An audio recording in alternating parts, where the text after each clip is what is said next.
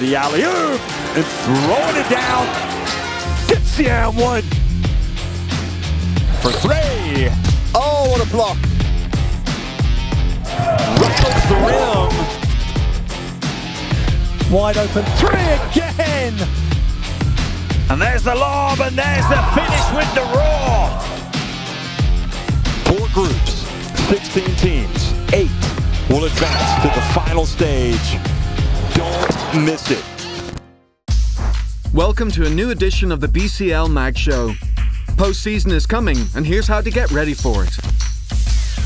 Spoiler alert players want to go all the way, and they are laying out their best plans in plain sight.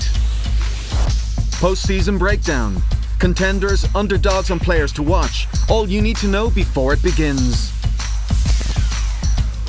BCL Easter eggs, behind the scenes footage, fun features, and best plays. Your BCL mag is fully loaded. You may have watched the draw live. Some of the teams did too, even if that meant postponing practice for a few minutes. Come on, let us take you to Israel, live with Holon players. What's up, guys? It's Freddy Bourdillon from uh, Hapoel Holon. We are inside the locker room.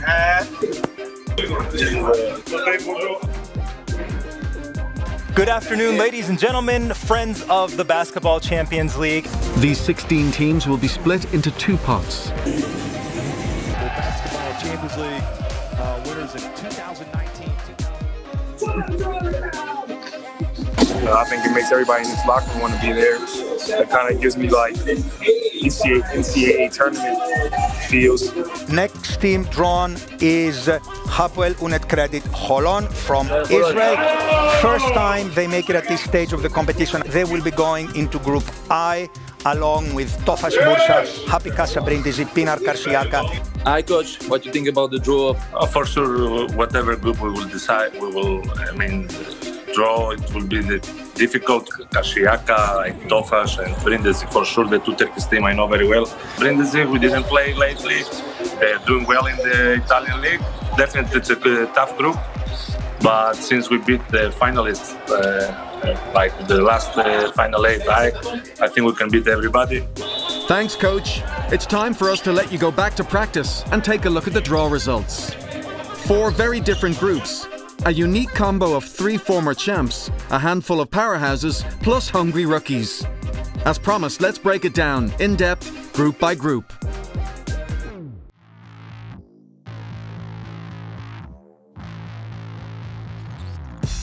We begin with Group I, the Rookies Group. Four teams with the exact same 4 2 record. And a first ever postseason appearance for all teams, but one. The only team with BCL Sweet 16 experience is Karşıyaka, the second best defense of the league. We're definitely a defensive minded team. Um, we just want to get as many as many uh, stops as we can. Uh, we know that leads to easy transition and easy basket. I think we're just hitting our, our stride as far as really playing good basketball as a team. We're a very deep team, um, and we can we can definitely hurt you in a lot of ways. I'm very excited about our draw, and I think that uh, we got have a great chance to advance as well. Hapoel Holon, Brindisi, and Tofas Bursa are all in uncharted territory. Among this underdogs trio, the other Turkish team, Tofas Bursa, is well aware of its current status. Karşıyaka uh, beat us twice in Turkish league, so they are you know very tough opponent.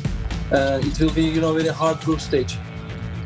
But don't count Tofas out just yet, especially if they can play at their own pace. Our coach he likes to play uh, fast break basketball. And Akoon-Purcell and Tarık Phillip, those guys are, you know, open court players. They make our job very easier uh, with the fast break points. Case in point, the Turks score 16 points per game on fast breaks. Now you know.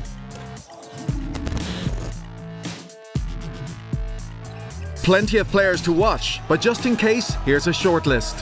Raymar Morgan is the offensive threat from Karşıyaka, third best scorer of the league, averaging more than 19 points per game. Amath M'Baye, the Frenchman, is adding 15.2 points per game. As for Tofas Bursa, one name stands out. Devon Akoon-Purcell, averaging 18 points.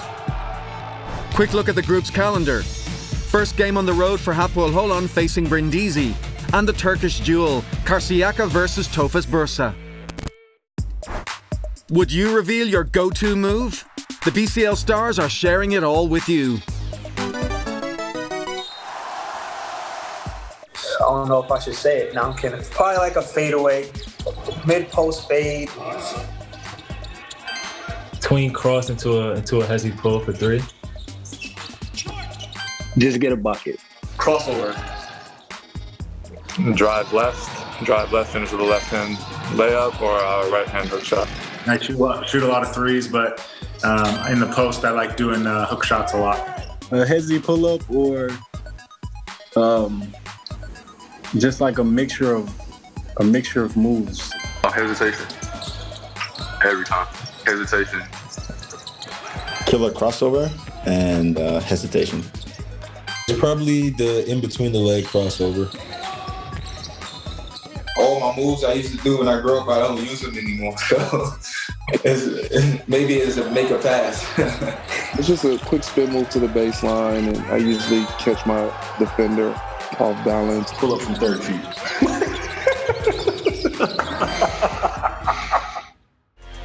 That's what go-to moves are for, scoring buckets. Last year's MVP, Keith Langford, is still the best, more than 21 points per game. Bonzi Colson from Strasbourg, over 20 points. Third, Karşıyaka's power forward, Raymar Morgan. D'Angelo Harrison and CJ Harris, also on this list, both from Group I.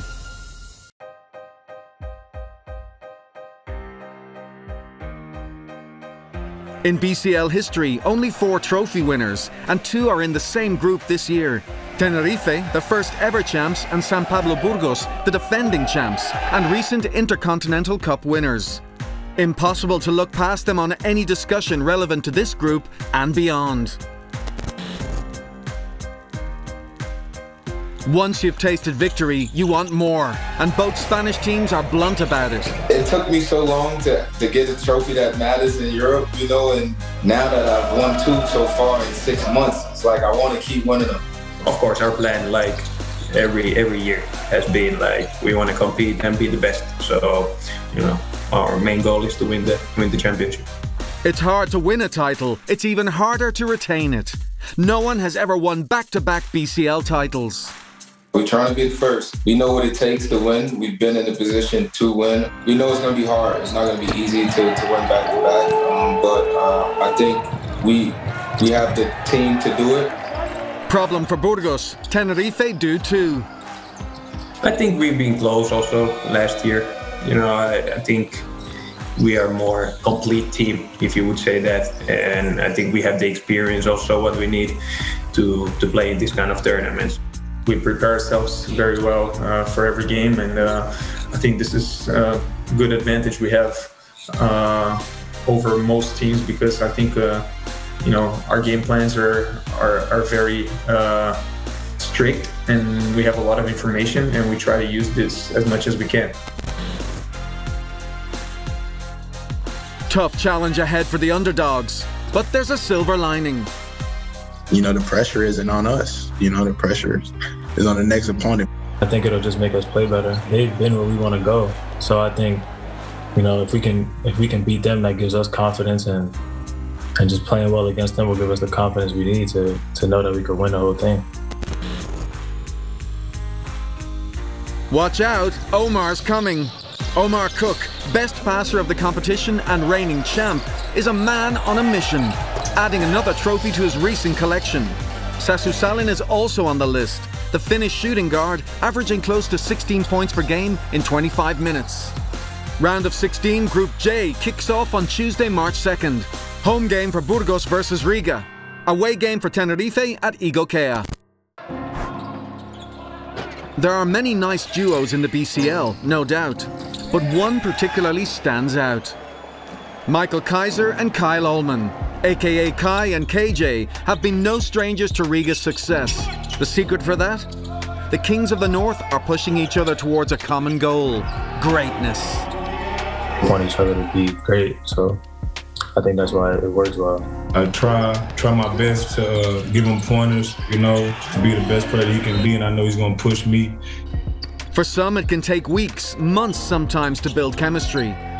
For the two of them, the connection started before they even got to the team. Riga had posted that he signed, like they they posted like a highlight, and it was like full of just dunks and blocks, and I was excited for that because I had somebody to throw lobs to. I messaged him on Instagram when I signed. He had already signed, and I told him I was excited. And you know, once once we played together, we just like clicked. And and we can tell. Of the 19 assists Kyser received this season, 16 came from Allman and 6 were alley-oops. Now 3 and 1 break, alley-oop pass and it doesn't take long. It gets the momentum going. Like it gets you hype, it gets the bench hype, everybody's in the game after after we throw lobs. But so, is there a better one-two punch in the league right now? no, I don't. I don't think so. Nah, nah, I, don't, I don't think it's. it's I don't. It, nah, nah. I wouldn't say that, but um, you know, we're just gonna keep on just doing what we're doing right now. We'll see at the end of the season. Since Kai and KJ are our BCL dynamic duo, we had to put them through the test. Let me give me a couple of seconds. Let me see. Oh, goodness gracious. Who is that? how, much, how much time do we have? Okay, I'm ready. Batman. Robert. Rob. Oh, come on. Sherlock Holmes. Oh, wait. Oh, no. Sherlock Holmes. Oh, I forgot his name. Karl Malone. That was John Stockton. Oh, shout out La Tech, man. La Tech University. Dr. Jekyll. Mr. Hyde. What's that from? Kareem Abdul-Jabbar. Well, Magic Johnson. Same time. Same time, yo. Who said it first? Mm-hmm. Woody. Uh, uh, uh, Buzz Lightyear. Jordan. Pippen. Macaroni. Cheese. I'm not gonna. I'm not, Man, I'm not come. I'm not playing. Shaq. Kobe. Kobe. Come on, lock that. No, Come that on. wasn't you. That was me. That was me. Who got that? Snoop Dogg. Dr. Dre. What? Yes, sir. Shout out West Coast. SpongeBob. Uh, SquarePants. Patrick. Patrick. Patrick. yes, yes, SquarePants. Michale Kyser, the Batman from Riga, grabs 8.5 rebounds per game. Miro Bilan, second, 8.2 rebounds per game. Sam Dekker from Ankara and Yannis Morin from Strasbourg, both 7.7, followed by Hayden Dalton, another ace up Nymburk's sleeve. Batman loves height. Michale Kyser, best rebounder and also the best BCL shot blocker. The young Icelander, Tryggvi Hlinason, keeps up. Chase Fieler and Steven Zimmerman both denied 1.5 shots per game. David Kravish is ranked fifth. There are so many great plays to choose from that instead of a top five, we've decided to go for a top 10 in two parts. Here we go.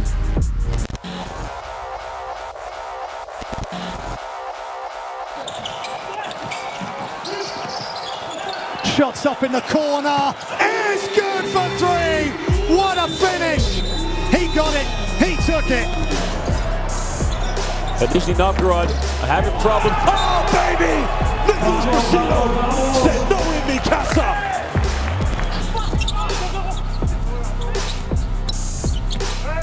Oh, he gets it and then throws it down. Look at this.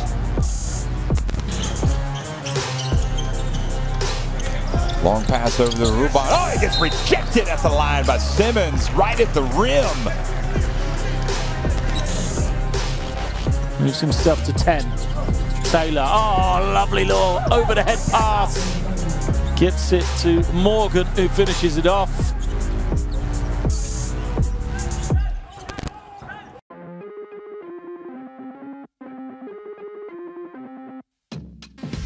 Group K is the redemption group. Four teams that this year, for one reason or another, are looking to redeem themselves. Eliminated by Dijon in last season's final eight, Türk Telekom have unfinished business to take care of. It Didn't really felt like we finished last season, so that's why I wanted to come back and compete for a championship. We just reloaded and signed some more new, new great players like Sam Dekker. You know, getting back Nick Johnson, and uh, for us, you know, we just want to, we just hopefully this could be the year. We all have this mindset of uh, we know what we're capable of, and every time we play a game, you can see it, it on every everybody's face. You know, like, hey, we we need this one. You know, we're definitely going in with the mindset of that, and um, that won't stop until we get to the to the championship. You know who else won't stop until the championship? AEK. And it didn't take long for their newest player to understand. You could just tell that, that they're on to something big and um, everyone works hard and, and everyone takes it very serious. Last edition's final still stings, but the veteran team knows how to learn from it. And that's what everyone does here. They they go on to the next day and, and try to do something different that they didn't do the other day or the other practice or the other games. You know, it's it's a lot of maturity on this team. With two contenders like Ankara and AEK more than ever, the underdogs will have to beat the odds. My teammate Alex Gavrilovic, we talked about who we didn't want to play. And AEK was one of the teams he said, I think Türk Telekom was one of the teams he said, and then the next day I said, yeah, bro, all the teams that you named are in our group. Thanks. But I'm excited though. It should, it should be fun. If there's one player on everyone's mind, it's got to be the reigning MVP. Keith Langford. That's my reaction. He's one of the best scorers in Europe from the American standpoint, maybe ever. Being able to be face to face is going to be pretty cool. Lucky lefty. With his size and skills, Bonzi Clutch Colson is almost impossible to match up. You also want to keep an eye on AEK's latest recruit, Daryl Macon. The 25 year old from Arkansas could be the X factor for the Greeks. In Group K, the battle for redemption begins on Tuesday, March 2nd. Türk Telekom versus Strasbourg. And the next day, Nizhny Novgorod hosting AEK. We told you, Türk Telekom are on a mission this year. And with only one loss so far, they've been living up to their expectations. Kyle Wiltjer is playing at an MVP level. Sam Dekker is a tremendous recruit. Nick Johnson is back to lead the team on both ends of the floor. But the Ankara squad is much more than a mere addition of talents. It's definitely a brotherhood between us because we came in the season not having to meet each other, and we've already kind of been familiar with how each other play. Me and Kyle played in high school together, and we we've been on a team for the last year and a half together. So I mean, we we've had that that connection for a while. Sam, Kyle, and Tyler all played together with the with the Rockets. When Sam got drafted to the Rockets, I was there. We we were together for a little bit. And of course, it helps. When that's your you know your brother, you know someone who you really uh, want to see do well, then I mean, when he makes a shot or when he, you know, you know, makes a big play, like you're you're genuinely happy for him. When we're on the court, if someone messes up or does something, we're, we're, we feel comfortable with challenging each other and you know just being there for each other off the court too. Don't get it wrong, it hasn't been a walk in the park. But you know the thing about challenges? They make you stronger. When Tyler went down, it really hurt us. He was such a pivotal point of our team, you know, being a point guard and getting us all involved. And but we adapted, you know. Um, we didn't. We tried to just stay positive, and we have a lot of talent on our team, so we just continued to fight. And same with Michael Eric leaving. You know, he was a huge part of our team. Every little, you know, thing has brought us together. Um, it's made us stronger and uh, more durable for for down the road. You know, people are gonna have to step up, next man up mentality. And when that next man is family, there's no doubt it will give Türk Telekom an edge onto the next round. Routine often rhymes with success. Discover the player's own recipes. Oh, definitely have to take a nap. The biggest thing is getting a pregame pasta made by my wife. You know, I always get a text from my dad. Um, he sends me a Bible verse. I watched the movie Above the Rim. I always play Candy Crush before the game. Meditation. Always meditate. It helps me relax. Have to take a shower before pregame. Left shoe before the right shoe. You put your right sock on and your right shoe first to get out on the right foot. I use always the same, um, you can say, tights uh, the same socks. Uh, Everybody know don't talk to me before the game. I have to go to the bathroom three minutes before every game. Am I superstitious? Yeah, absolutely, hundred percent. I hate it. I honestly hate it though.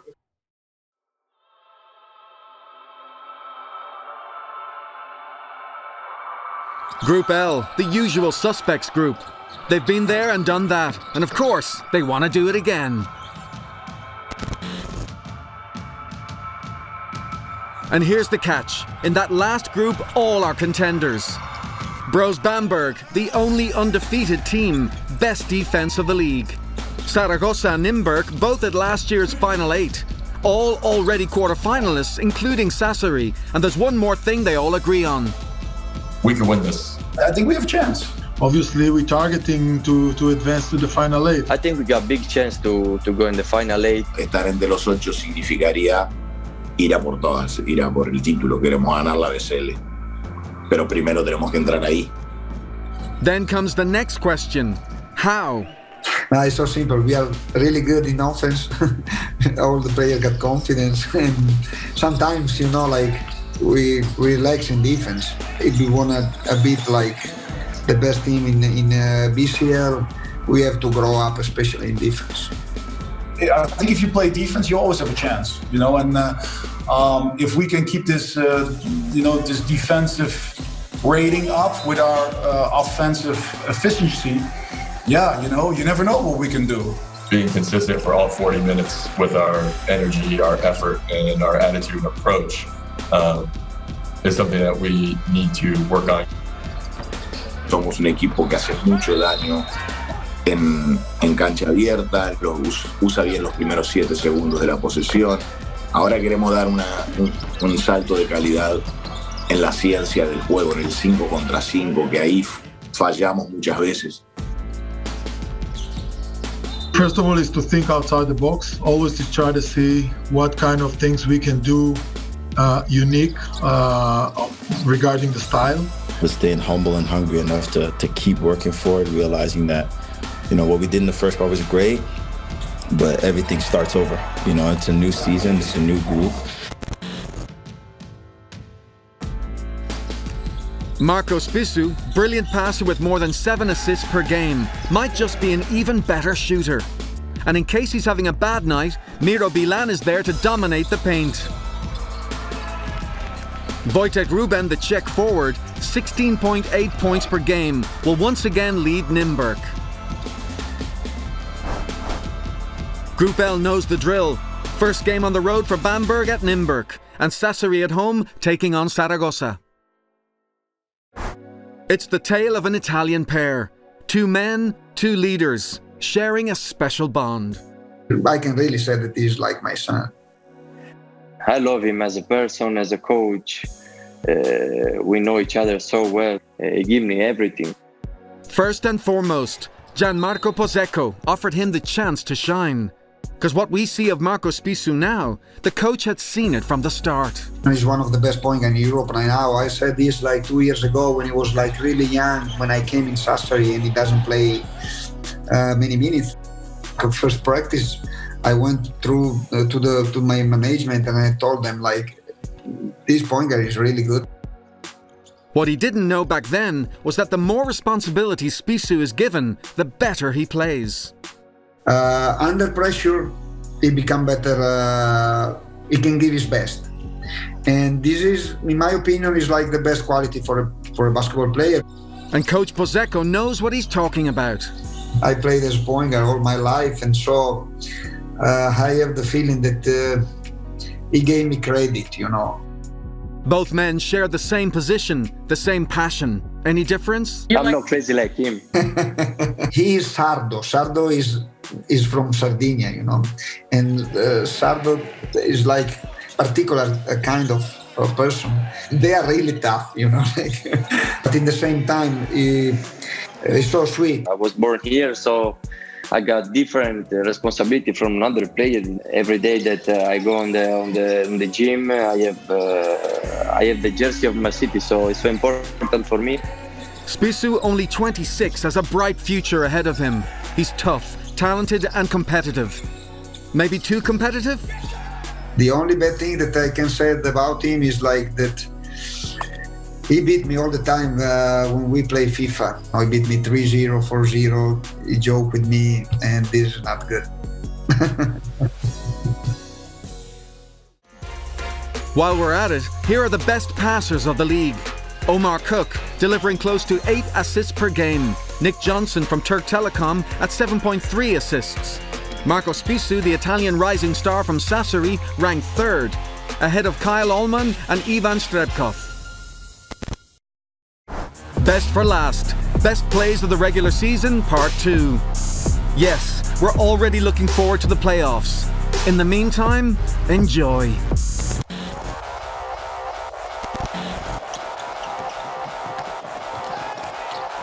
Withers, oh, rejects it! Flies up high and swats away Todd Withers. Ennis pulls up, Hail Mary, it's good! It's good! He got it!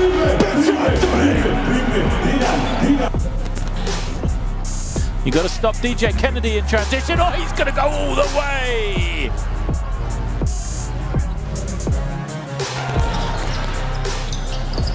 Now, Madsen drives in. Oh, goodness me. Did you see that?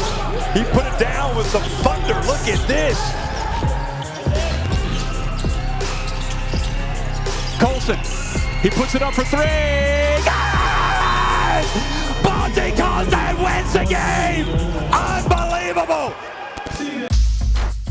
The road to the final eight has already begun.